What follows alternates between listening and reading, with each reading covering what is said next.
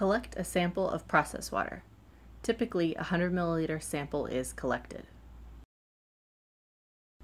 Various methods can be used to transfer hexane into the sample bottle. In this demo, we will be using a disposable glass pipette and pipette helper.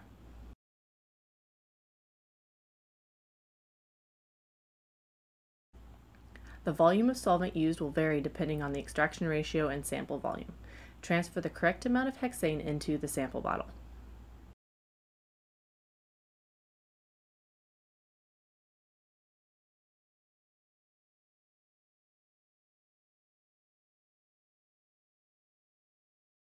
Cap and shake the bottle for two minutes.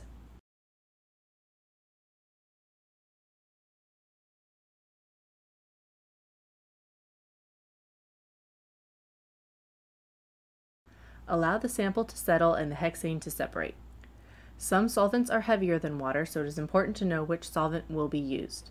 In this demo, we are using hexane, a lighter than water solvent. Tap Start to enter the TD550 TD560 software. Select the appropriate calibration and location.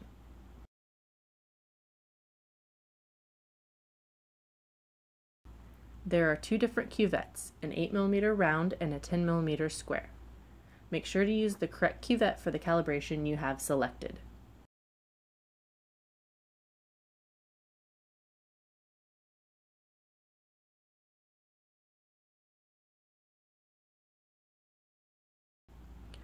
Once the hexane is separated, use a transfer pipette to remove the hexane layer and fill the cuvette.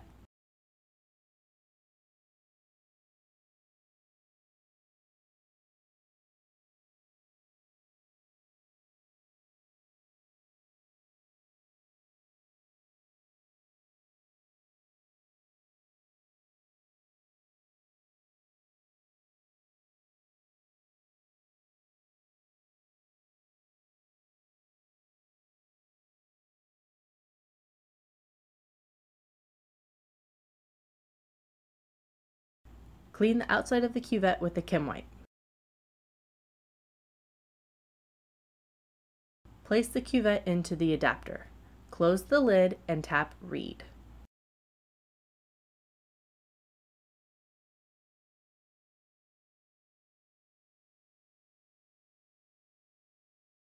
Remove the cuvette from the adapter.